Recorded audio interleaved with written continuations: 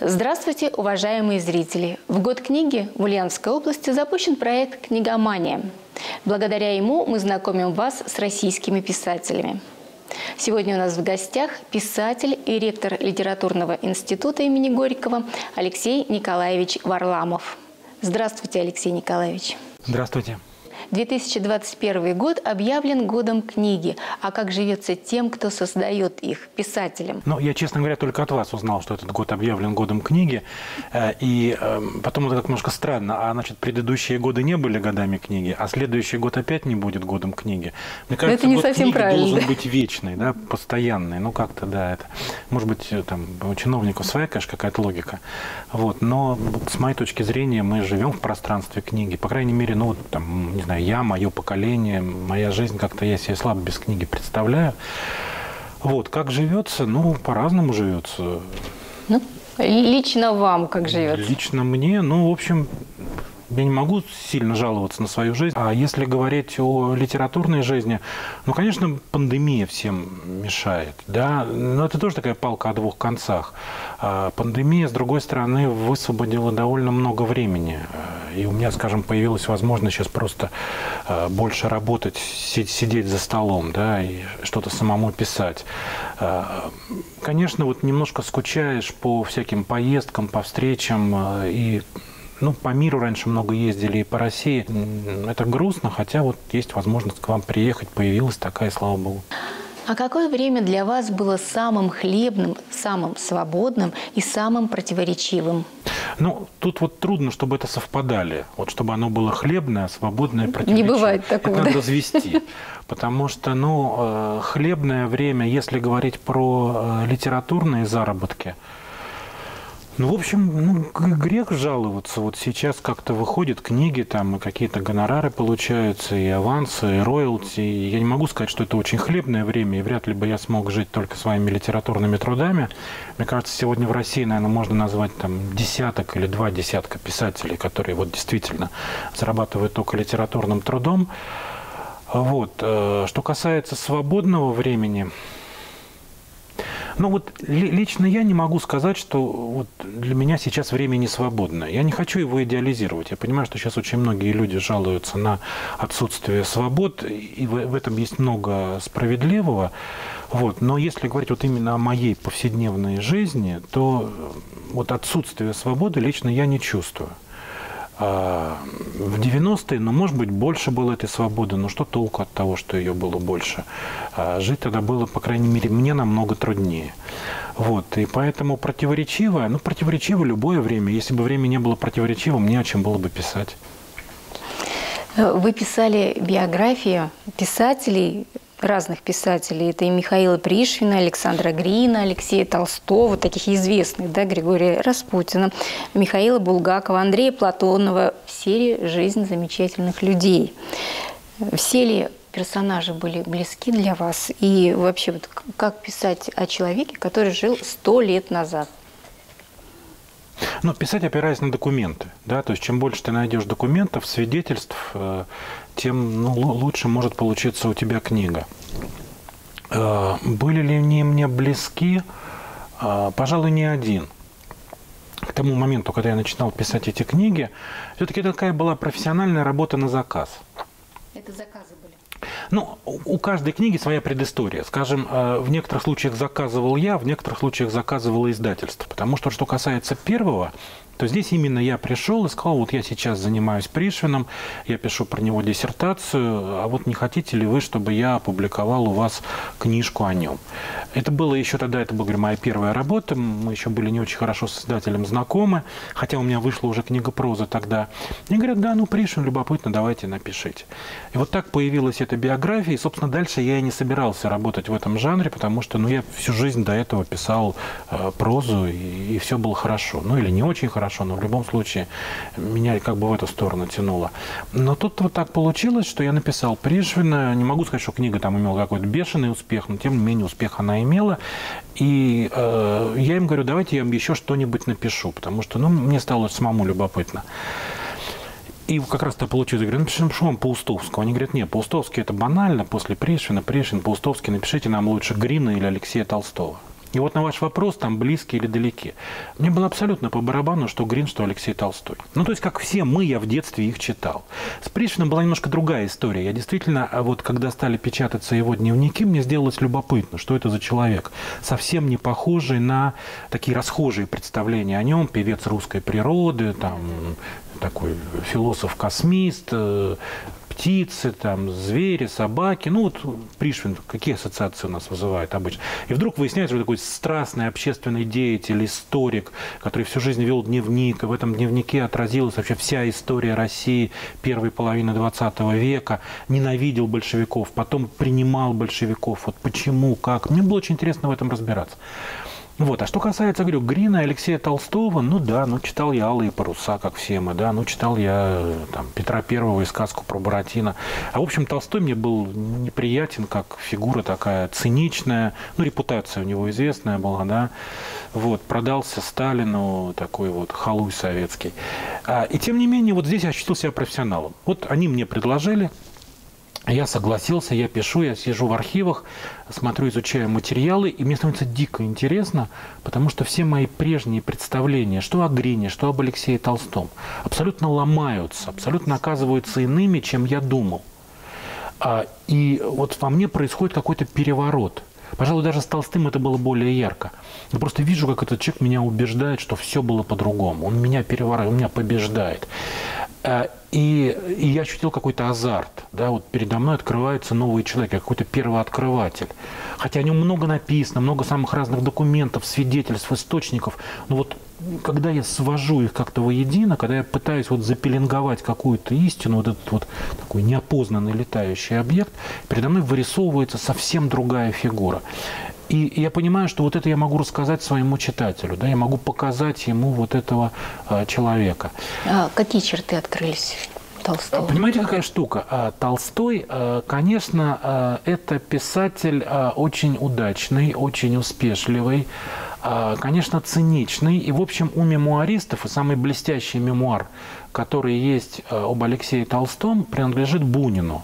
Он так и называется «Третий Толстой», ну, поэтому почему «Третий», да, Лев Николаевич, Алексей Константинович, «Третий Алексей Николаевич».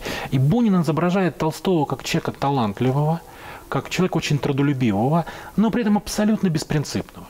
И поэтому вот поехал он, значит, после, то есть не принял он революцию, да, там был на стороне Белой армии, ненавидел большевиков, там Ленину хотел ржавым штыком глаз выколоть. А потом вдруг возвращается в 23 году в Советский Союз и становится таким вот советским писателем. И для Бунина это просто, просто беспринципность, это просто конъюнктура, это просто, ну вот ему стало так бедно жить в эмиграции, там нет денег, а в Советском Союзе его типа купили. И я, в общем, в это верил, потому что, ну как Бунину не верить? Бунину, конечно, веришь, Бунин авторитет.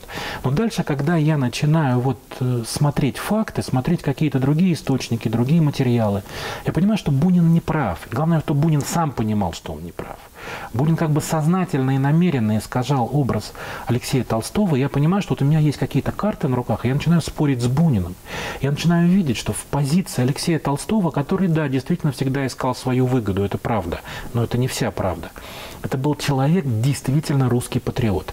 Но не в таком вот сегодняшнем публицистическом расхожем смысле этого слова. Он был патриот брюхом он не мог жить в эмиграции. Он действительно ненавидел большевиков. Он не мог им простить Брестского мира. Он не мог им простить того, что они торгуют русской землей а, в угоду а, своим политическим каким-то играм и своим политическим целям. И поэтому, конечно, для него Ленин это такой вот национальный предатель вот мы с вами, да, в городе Ленина, да, вот Ленин в его глазах это человек, который торгует русской землей. Потому что Брестский мир это вообще это, возмутительно, да, вот отдать огромную территорию, за которой были пролиты кровь э, и отданы миллионы жизней русских солдат в Первой мировой войне, просто одним росчерком пера, нате, немцы забираете. И, конечно, в этот момент он становится э, врагом большевизма, и он не мог он физически сражаться в Белой армии, но он работает как идеолог белого движения. Дальше он оказывается в эмиграции. И он по-прежнему ненавидит большевиков, как, как все, кто в этой эмиграции оказался. Но дальше что видит Алексей Толстой? Дальше он вдруг начинает видеть, что красные восстанавливают эту империю. Они вновь отнимают эти земли. Да, это кровавый режим, это такой бандитский режим, но это режим, который восстанавливает целостность нового, возникает новое российское государство. И он понимает, он как будто, говорю, брюхом он тянется к этому новому государству. Потому что жить в эмиграции он не хочет. Они, это они готовы, и Бунин готов. Да? Для него Россия проклята. Красная Россия – это не Россия, это оксюмарон какой-то. И он будет в эмиграции, он будет жить по старому календарю, он будет писать старые орфографии, он будет оплакивать Россию, которую мы потеряли, писать «Темные аллеи», «Жизнь Арсеньева», получит Нобелевскую премию. Это бунинская история. Но история Алексея Толстого совершенно не такая. Там возникла вот новая страна, Россия. И эта Россия меня зовет.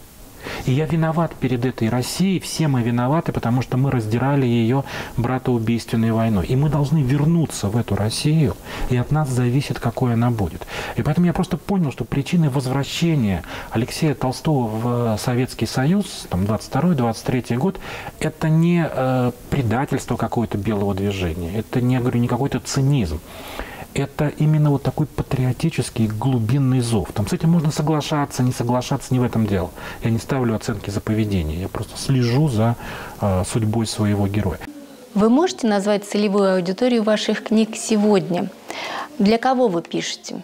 Ну, вот я так скажу. Когда, опять же, я пишу художественную прозу, я об этом не думаю, потому что мне надо просто написать. Вот написать то, что вот во мне, то, что меня как-то беспокоит, мучает, тревожит, да, можно так сказать. Отпустить то, что есть в тебе. А когда я пишу прозу документальную, все-таки передо мной возникает читатель. Все, все-таки я его вижу. И, как правило, этот читатель, я говорю, что мне, не знаю, там, не то, что нравится, не нравится, но есть некоторый момент, который, может быть, кого-то смущает, по крайней мере, меня он точно смущает. Ну, там, я не знаю, я пишу книгу, вот сейчас о Розанове, да, а, я никогда раньше Розановым не занимался. Ну, то есть он, он попадался мне в ходе моих там каких-то изысканий, но я никогда не был профессиональным розановедом. При том, что есть люди, которые всю жизнь Розановым занимаются. А, и я такой вот, ну, типа самозванец получаюсь. Хотя я там честно все изучаю, материалы, материалы читаю. Вот, но я понимаю, что вот в тех книгах, которые написаны о Розанове, мне чего-то не хватает. Да, я хочу сказать свое слово. Я представляю читателя, для которого Розанов, с одной стороны, э, такой монархист-консерватор, с другой стороны, христоборец и вообще антихристианин. С одной стороны, значит, такой э, русский государственник, с другой стороны, анархист. А с одной стороны, юдофоб страшный, с другой стороны, юдофил. Вот как в этом разобраться? Да? Вот, вот что, что Рознов очень колючий, да? он ставит очень много вопросов. Я представляю себе э, читателя, которому ходит, что же все-таки это такое, кто он был на самом деле. И вот представить себе человека, э, которому важно разобраться и важно понять, как это было на самом деле, вот это мой читатель. Ну, скажем, про Алексея Толстого я начал говорить, а представляю себе либерального читателя, с которым я отношусь с большим уважением, и больше того, я понимаю, что сегодня в основном читатели, это, как правило, такая либерально мыслящая публика, и для них Алексей Толстой, как и для меня, когда я начинал писать свою книгу, тоже, ну, такая фигура, вот знаете, есть такое стихотворение у Чичибабина «Я грех свечу тоской, мне жалко негодяев, как Алексей Толстой и Валентин Катаев». Ну, такой такой негодяй. И я ему пытаюсь показать, я тоже думал, что он негодяй. Но вот посмотрите это, это, это. Посмотрите, как он любил Ахматову, как он выдвигал ее на сталинскую премию. И я уверен, если бы он не умер в 1945 году, Алексей Толстой, то в 1946 не было бы этого разгромного постановления Ждановского о журналах «Звезда» и «Ленинград» и об Анне Ахматовой. Никто не посмел бы при живом Толстом, никакой Жданов, называть Ахматову э, блудницей. А вообще есть хорошие книги среди современной литературы, современных авторов? Я думаю, есть, и я думаю, что их больше, потому что есть такое расхожее мнение, что сегодня нечего читать. И часто его очень можно слышать. Нечего читать, там литература в упадке.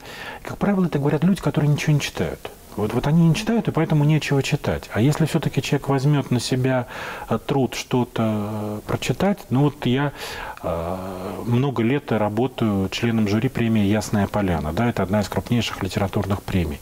И, конечно, там передо мной за эти годы проходит ну, достаточно много книг, изданных в разных там городах разными авторами. И всегда попадаются очень интересные книги. Ну, а вы какие, каких-то авторов? Могу, конечно. Нет, ну, есть авторы, которые, опять же, читающей публике всем известны, известны справедливо. Это и Евгений Водолазкин, и Гузель Яхина, и Алексей Иванов, и Захар Прилепин, и Дмитрий Быков. Я ко всем к ним отношусь с большим уважением э, и считаю, что этот ряд можно